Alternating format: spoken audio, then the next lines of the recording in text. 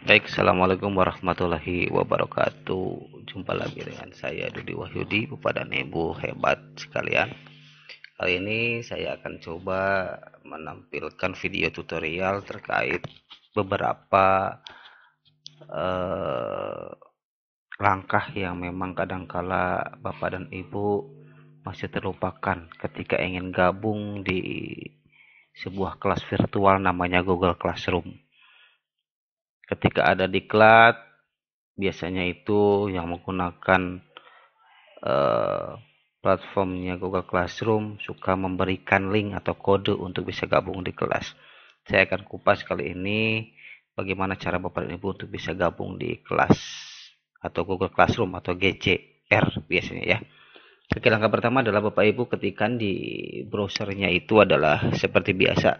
Upayakan segala aktivitas Bapak dan Ibu terkait Google, akun Google dan sebagainya selalu uh, ketikan melalui buka melalui Google Drive. Biasakan seperti itu. Oke. Okay.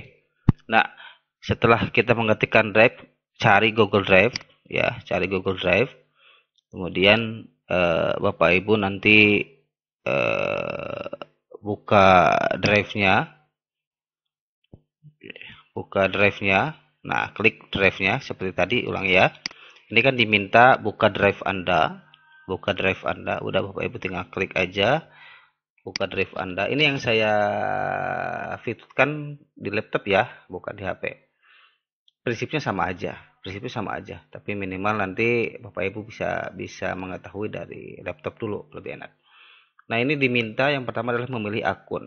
Nah, untuk beberapa pelatihan Google Master biasanya menghendaki Bapak dan Ibu wajib menggunakan akun belajar ID atau akun pembelajaran itu. Jadi yang harus Bapak Ibu lakukan jangan langsung klik akun yang Gmail pribadi ini. Tetapi harus menggunakan akun pembelajarannya. Oke. Eh, gunakan akun yang lain. Klik gunakan akun yang lain. Oke ini ya, gunakan akun yang lain. Oke, klik Ya. Setelah itu akan diminta memasukkan akunnya, emailnya. Nah, Bapak dan Ibu gunakan akun yang pembelajarannya. Nah, kalau saya kan Dudi Wahyudi 01 at guru.sma.belajar.id gitu ya ingat harus gunakan yang belajar ID nah, baru berikutnya klik Oke, setelah itu masukkan passwordnya. Password yang setelah Bapak Ibu ubah ketika didownload oleh operator ya. Ingat-ingat jangan sampai lupa. Kalau Bapak Ibu lupa passwordnya, segera minta di reset ke admin sekolah. Ya, ke admin sekolah minta di reset eh, password akun pembelajarannya.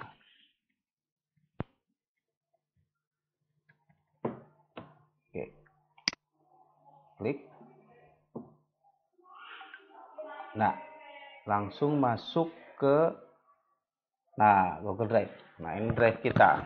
Ini udah cirinya udah masuk di Google Drive ini dengan menggunakan akun belajar ID. Kalau sudah seperti ini aman ya. Pak Ibu nanti tinggal simpan saja proses ngebukanya di laptop. Kemudian setelah itu Pak Ibu kalau kita ingin masuk ke Google Classroom ya buka yang titik 9 ini. Ini adalah pintu ajaib Doraemonnya yang masuk ke semua aplikasi di Google. Klik Oke, kemudian pilih classroom.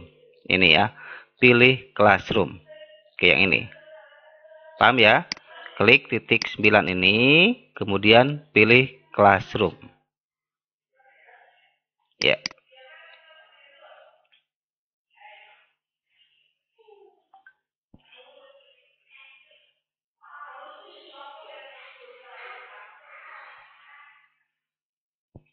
Oke, seperti ini. Nah, ini adalah kalau Bapak Ibu yang sudah sering menggunakan Classroom pasti akan banyak kelas yang sudah uh, dibuat, gitu kan? Oke. Atau bahkan sudah gabung kepada yang lain. Nah, langkah berikutnya adalah Bapak dan Ibu kalau yang belum pernah menggunakan Google Classroom pasti di sini masih kosong, ngeblank. Ngeblank kosong, ya, ngeblank kosong pasti. Jangan takut ya sekarang mulai dari sekarang Bapak Ibu isi tuh aktivitas di classroom baik sebagai siswa maupun sebagai guru gunakan dalam proses pembelajaran kita di kelas. Bagaimana cara kita gabung Bapak dan Ibu? Ketika panitia atau guru sudah memberikan informasi kode kelas baik di WhatsApp, di Telegram maupun dikirim melalui email, mereka pasti akan memberikan kode ya, kode classroom. Nah, kode itu yang digunakan biasanya untuk bisa menggabung ke kelas mereka.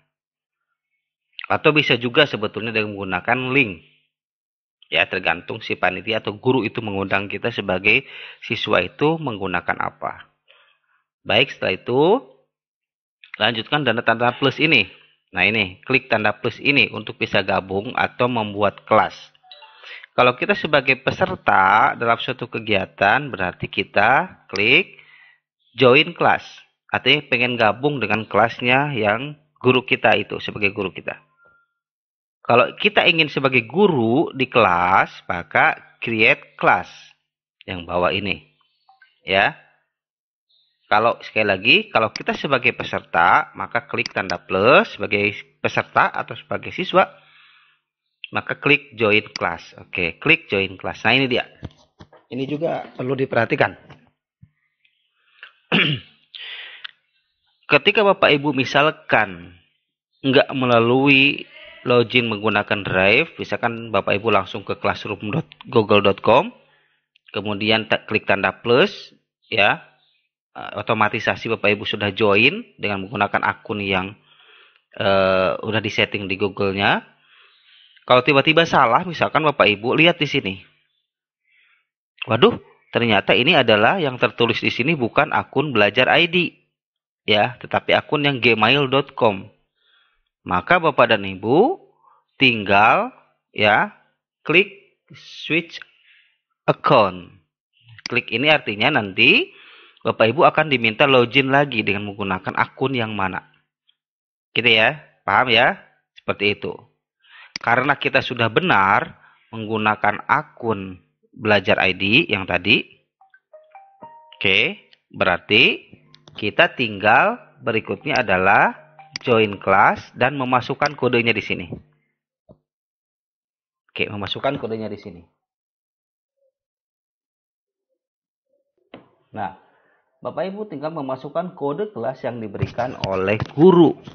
Ya, copy misalkan dari WA, dari email atau dari Telegram.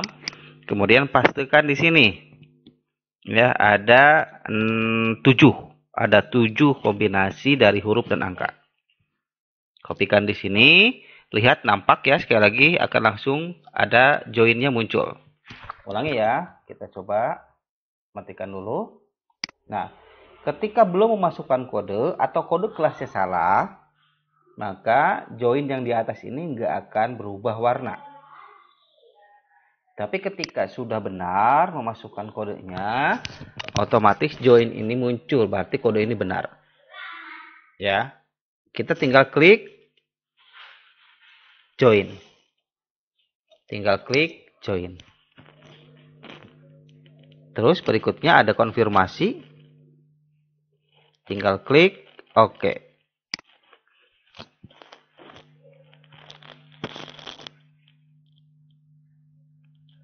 Oke. Ya. Copy, kemudian klik join. Nah, kita lihat konfirmasinya. Nah, di sini ada konfirmasi katanya adalah salah akun. Kenapa ini bisa terjadi? Kalau ini terjadi, Bapak dan Ibu, berarti gurunya itu adalah menggunakan akun yang gmail.com akun pribadi, bukan akun belajar ID atau akun GWE Google Workspace. Ya, sehingga kita nggak boleh gabung karena guru menggunakan akun yang pribadi yang gmail.com. Kalau gurunya menggunakan gmail.com, siswanya menggunakan akun GWE belajar ID itu tidak akan bisa tergabung.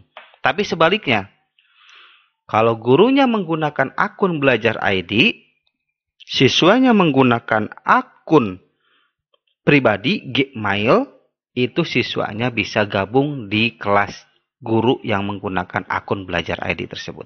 Gitu ya.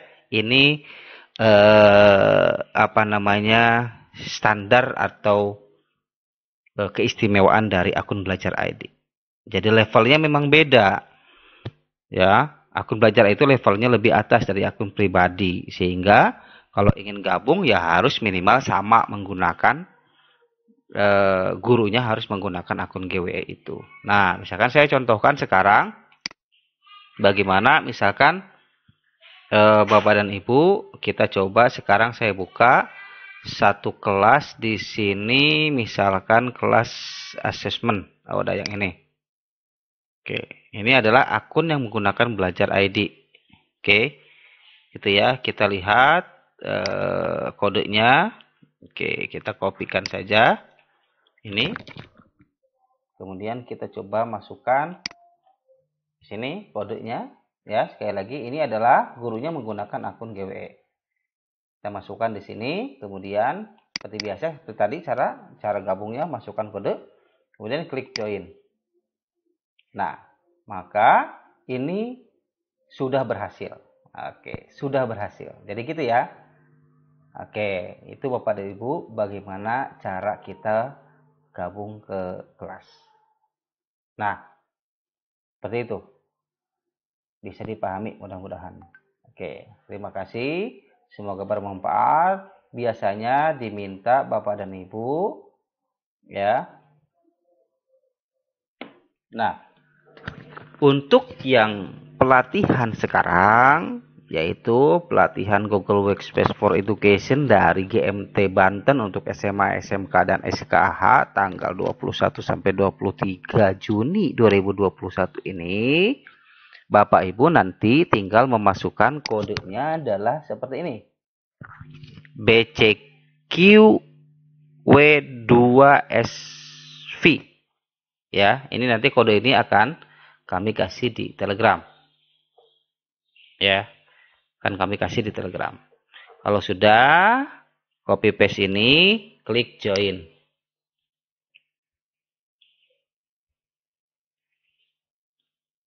Oke, nah ini sudah masuk, klik aja atau di close aja juga nggak apa-apa. Nah, udah ini udah masuk ke kelas Bapak dan Ibu yang GWE tanggal 21 sampai 23 Juni. Kemudian di sini ada yang pertama forum perkenalan yang sudah di uh, berikan oleh guru kita. Kita bisa lihat di sini gurunya siapa. Oke, gurunya ada di Wahyudi, ada Ai Putri sama Ernawati. Nanti satu lagi ada Pak uh, Nendi, ya belum masuk. Nah, bagaimana cara menggunakannya? Di pertama ketika gabung Bapak dan Ibu, lihat di boleh lihat di forum. Stream itu forum, artinya hanya untuk berdiskusi chat di sini, chat kita. Ada kelas work biasanya ada tugas-tugas nanti di sini. Ya, yang pertama itu belum ada tugas yang lain. Ini baru ada forum perkenalan. Jadi Bapak Ibu diminta untuk memperkenalkan diri. Nah, bagaimana caranya? Tinggal diklik saja, diklik. Isinya apa? Isinya adalah Bapak Ibu, silakan Bapak Ibu berkenalan satu sama lain. Ya udah dengan format ini. Ya udah Bapak Ibu tinggal copy paste saja. Copy ini, gitu kan? Copy, kemudian Bapak Ibu klik di bawah adalah add a class comment. Udah, paste di sini, pastekan ketika nama Bapak dan Ibu. Misalkan ini Dudi Wahyudi. Asal sekolah, tulis span 1 Sikulur.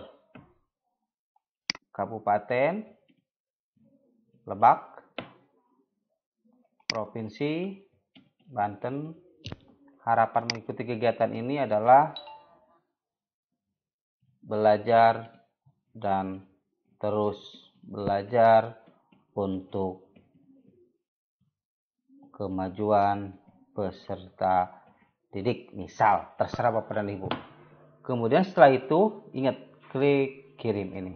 Kirim. Kirim.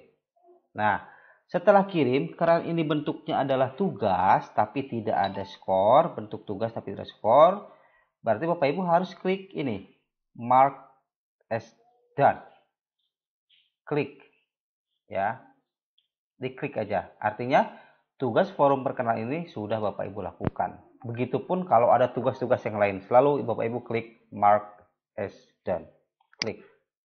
Kemudian klik. Nah, sudah selesai. Sudah selesai eh, apa namanya di awal kegiatan classroom kita. Tinggal nanti nunggu info-info dan seterusnya dari guru kita. Kalau kita salah ini tinggal unsubmit nanti kirim lagi submit. Kalau ingin melihat ke awal klik. Nah, di sini nanti akan muncul eh, komen-komen dari teman-teman kita terkait forum perkenalan. Begitu saja mungkin untuk di awal Bapak Ibu silakan pahami lakukan proses pembelajaran di Google Classroom ini kita manfaatkan kelas virtual ini untuk belajar bersama terkait Google Workspace for Education dengan para GMT Banten yang hebat. Assalamualaikum warahmatullahi wabarakatuh.